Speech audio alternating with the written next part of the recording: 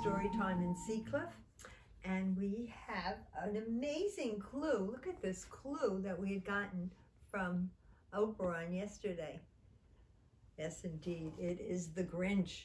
And the name of the book is How the Grinch Stole Christmas. Mm -hmm. Every Who down in Whoville liked Christmas a lot. But the Grinch, who lived just north of Whoville, did not.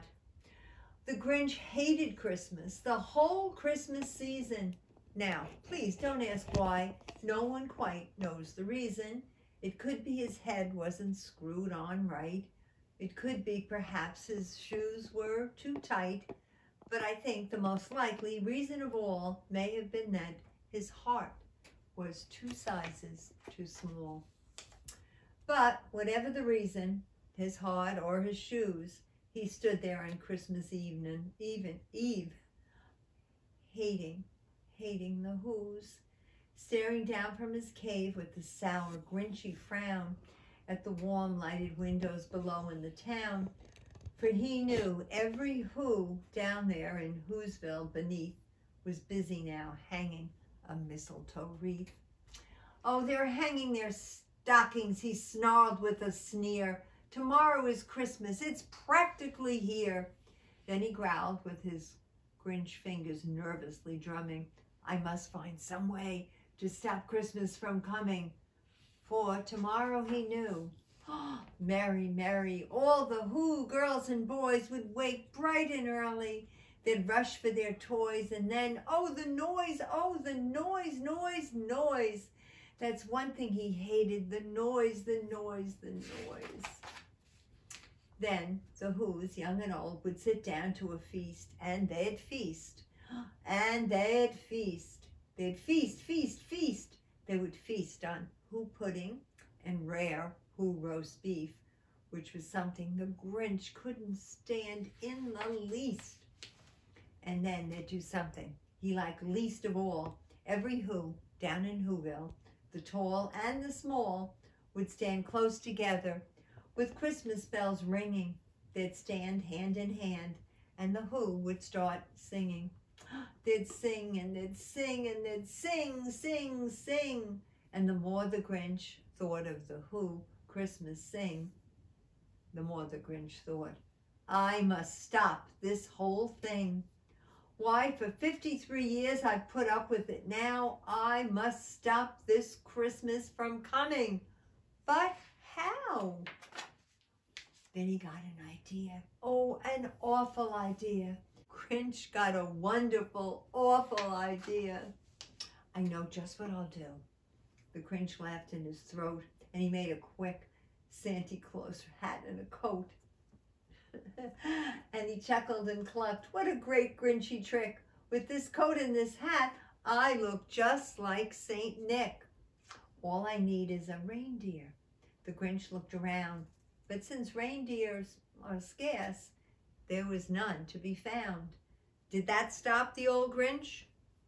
No, the Grinch simply said, if I can't find a reindeer, I'll make one instead. So he called his dog Max, and he took some red thread and tied a big horn on the top of his head. Then he loaded some bags and some all empty sacks on a ramshackle sleigh and he hitched up old Max. Then the Grinch said, Giddy up! And the sleigh moved down toward the homes where the Who lay a snooze in their town. Oh, all their windows were dark and quiet snow filled the air, and all the Who's were all dreaming sweet dreams without a care. When he came to the little house on the square, this is number one, said Grinchy Claus himself, and he climbed to the roof, empty bags in his fist. He slid down the chimney, a rather tight pinch, but if Santa could do it, then so could the Grinch. He got stuck only once for a moment or two, then he stuck his head out of the fireplace, flew, where the little Who stockings all hung in a row. These stockings, he grinned, are the first things to go. And he slithered and he slunk in a smile most unpleasant around the whole room. and he took every present pop guns and bicycles, roller skates, drums, checkerboards, tricycles, popcorn, and planes and plums. He stuffed them in bags, and the Grinch very nimbly stuffed all the bags one by one up the chimney. And he slunk to the icebox and he took the Who's feast. He took the Who pudding. He even took the roast beef. He cleaned out that icebox as quick as a flash. Why, that Grinch even took their last can of Who hash. And he stuffed all the food up the chimney with glee. And now, grinned the Grinch, I will stuff up me. And the Grinch grabbed the tree and he started to shove, and he heard a small sound like the coo of a dove. He turned around last and he small he saw a small who, little Cindy Lou Who. She was not much more than two, and the Grinch had been caught by this tiny Who daughter who'd gotten out of bed for a cup of water.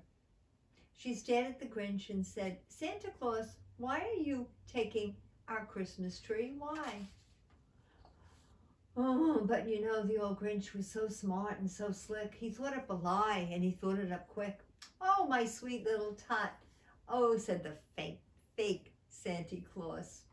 There's a light on this tree that won't light on one side, so I'm taking it home to my workshop, my dear. I'll fix it up there and I'll bring it back here. And his fib fooled the child and he patted her head. He got her a drink and he sent her to bed. And when Cindy Lou Who went to bed with her cup, he went to the chimney and stuffed the tree up. then the last thing he took was the log for their fire. He went up the chimney himself, the old liar. On their walls he left nothing but hooks and some wire, and one speck of food that he left in the house was a little crumb that was even too small for a mouse. Then he did the same thing to all the other Who houses, leaving crumbs much too small for the other Who's mouses. Oh, it was a quarter past dawn and all the Who's were still abed and all the Who's still snooze. He packed up his sled. He packed it with their presents, their ribbons, their wrappings, the tags, uh, and the tinsel, the trimmings, the trappings. 3,000 feet up, up the side of Mr. Crumpit, he rode with his load to the tip top to dump it. Pooh pooh to the who's, he cried. They're finding out now. No Christmas is coming. They're just waking up. I know just what they'll do.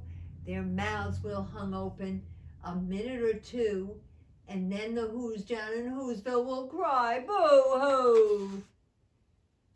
That's a noise, grinned the Grinch, that I simply must hear. So he paused, and the Grinch put his hand to his ear, and he did hear a sound rising over the snow. It started low, and it started to grow. But the sound wasn't sad. Why, the sound sounded merry. It couldn't be so. It was, it was merry.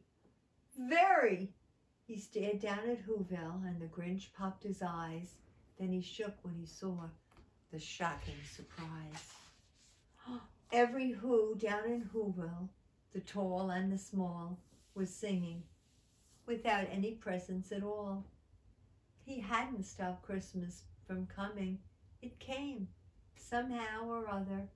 It came just the same and the Grinch, with his Grinch feet ice cold in the snow, stood puzzling and puzzling. How could it be so? It came without ribbons, it came without tags, it came without packages, boxes, or bags. He puzzled three hours till his puzzler was sore.